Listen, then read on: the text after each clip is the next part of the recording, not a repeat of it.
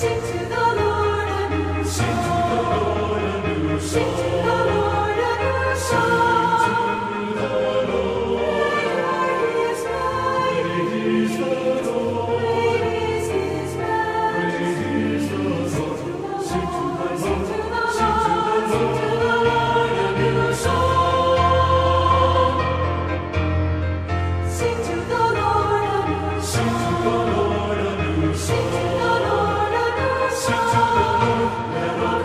children, children.